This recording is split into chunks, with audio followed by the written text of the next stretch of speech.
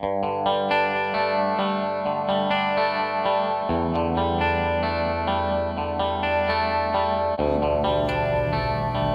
YouTube and welcome back. In this video we're going to be installing a retrofit kit on an earlier model block. This happens to be a 351 modified. It can be a 351 Cleveland, 289, 302 or a Windsor. What is a retrofit kit? A retrofit kit is when we want to put a roller cam onto an engine that never had a roller cam before. There's several different kits for engines that have never had a roller cam before. And that's the issue is with the roller cam, we need to hold the lifters uh, from spinning. On any other kind of cam, hydraulic, flat tappet, solid, the lifter needs to spin to stay alive. On a roller cam, there's a roller at the bottom. This is the so roller So we don't want the, the lifter to spin. It has to stay stationary. If it spins, you're going to destroy an engine. So we need a retrofit kit. All late model engines that have roller lifters have a hold down that keeps them from spinning. Earlier models did not. So this is what we have. All right, here's all the tools we're going to be needing today. I'm using a Dykem's Red so I can see where I'm to drill. I'm using a center punch to find my spot. I'm using a number six drill to drill for the quarter inch 20 tap. I'm using a way to turn the tap and an Allen wrench. Hammer for the center punch. Real simple, but basically, here's all the tools we'll be needing. All right, when doing a retrofit kit, what's very important is tip of the day, you have to use comps lifters. It's a different lifter. So one of the common mistakes that a lot of people are having out there is they're seeing the retrofit kit and going, oh, it's just a Ford kit. I'll go get this stuff from a junkyard, put it in, or I'll buy just the kit itself and only buy some of the parts. You want to read the instructions. One of the key pieces to making this work is the lifter. It is a special lifter. It's taller because the Ford block actually machined the top of the blocks down to clearance this or to have clearance for this. So the top of the block is machined flat right there. Well, we don't have a block that's been machined down, hence retrofit kit. So key element is to use the special lifters that come with it. I like to just drop in the lifters this one just came out of the hone, so I went ahead and put a camshaft in it just to have something to hold the lifters. You can do this in the car. The instructions show you how to do it in the vehicle. I'm not going to go there because it doesn't matter. Y'all can figure that out or read the instructions.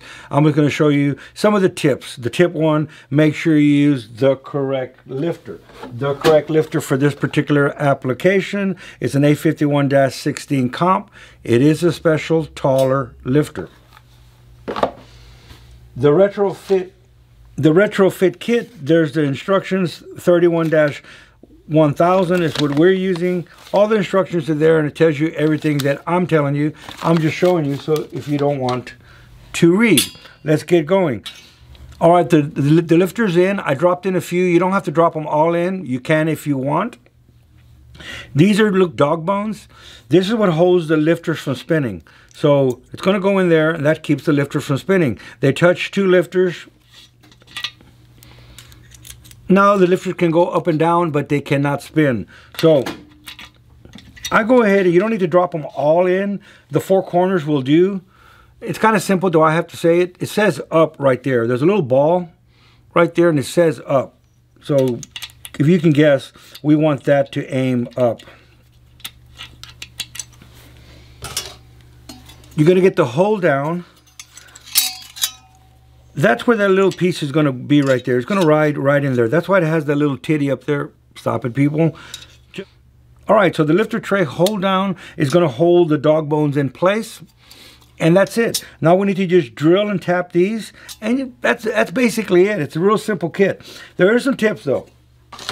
Right in here where you're going to drill them, those go into the cam bearings. So if you're doing this in the vehicle with the camshaft in it, do not drill all the way through. I'm doing this as a bare block with no cam bearings in it, so I can drill all the way through now because once I'm drilled and tapped it, once I put my cam bearings in, it's not going to affect it one way or another. But an important tip, if you're doing this in the car or on a stand with the engine assembled, Do not drill these all the way through. You'll hit the camshaft. You'll do some damage to the camshaft or cam bearings, and you don't want to do that. Another tip of the day. We're going to put our hold down tray in place, and basically there's no real art to it. What I like to just do is put it in between the lifters look at the lifters if you want to put them all down and put them right in the in between if you're off one way or another it doesn't matter these holes here are slotted anyway so even if you drill them a little off you can still adjust it before you tighten them down i know where it's going to go because i see them they're in the middle it's not interfering with anything i'm happy you're happy everybody is happy so what we want to do is once we know exactly where it's going to go and it's in place you want to go ahead and center it. I'm centered right there and I'm liking it. I'll put this down in place and done. I'm going to hold that there while I center this other side. Kind of find the happy medium. Put it in the center. Done. So one of the things I've done also is I went ahead and put some red dye here just so that I could see my spots, but it's not necessarily something you have to do. Okay, I'm to go ahead and drill these and tap them.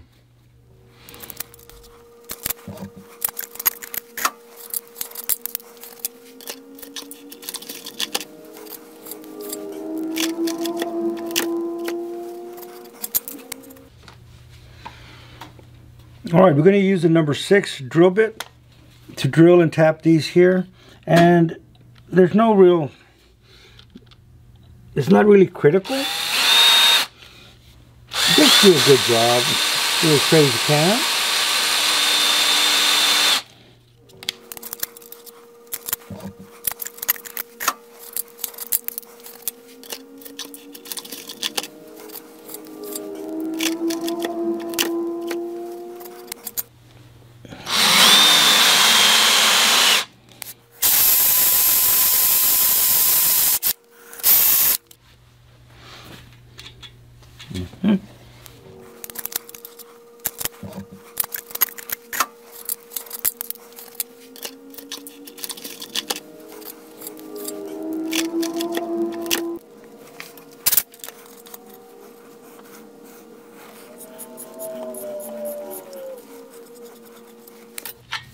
ears.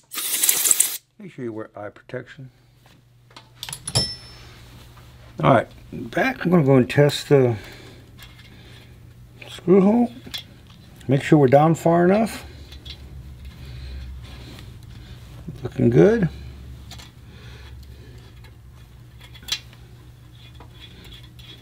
Look at there. Like I said, we don't want to drill all the way through out the other side, but we have in the past.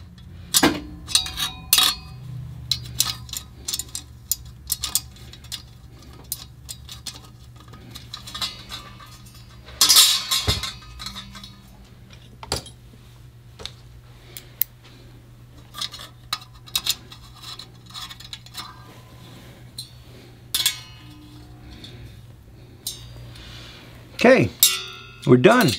That's simple. What I am going to do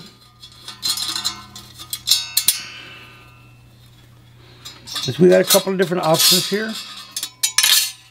See this rib right here? That's sticking up higher?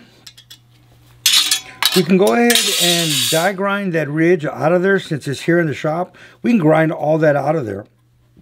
Instead, what I'm going to do is make two little washers for under here. I'm going to put two little spacers about the same height as right here. So when I put this down and tighten it, it doesn't just bend this up because of these two ridges. The, the Cleveland the Modified has these ridges. The 302 Ford does not. All we need to do is uh, make sure that we're holding down all of our holders and they work just fine. I don't need to take the time to remove those ridges. I like them for strength, but I am going to add two washers right there underneath it. And that's basically it go ahead and put all this back on just so you can see the finished product.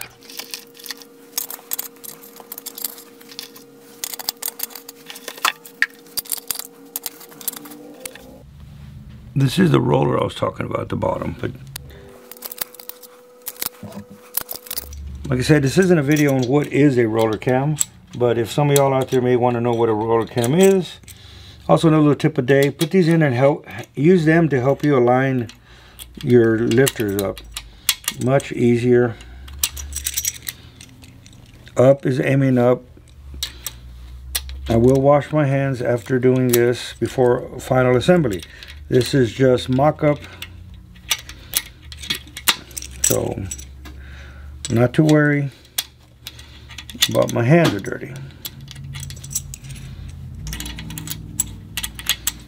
Make sure the up is aiming up.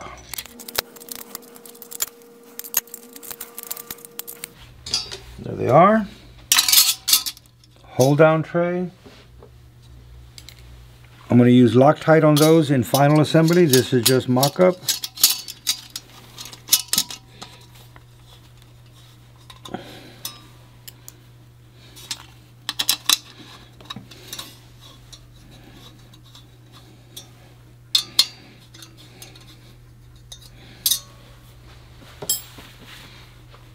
All done. All right, we're all done. It's a real simple kit, didn't take that long. There's a couple of tips. Don't drill too far, you'll hit the cam bearings. Make sure that you don't do this with anybody else's lifters. For this to work properly, you need the special comp lifters. They're taller, the base circle is different.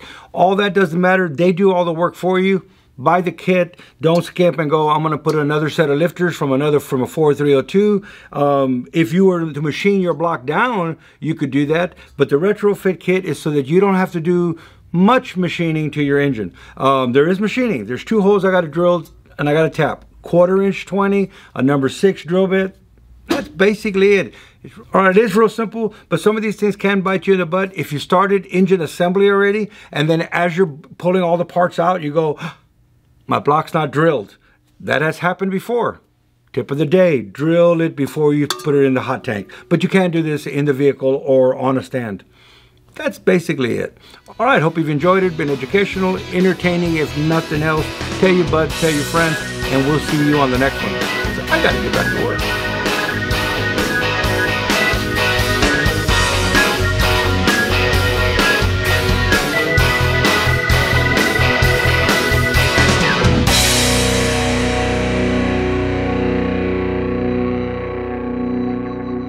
Here's the retrofit kit for the Ford. You can buy this from Comp.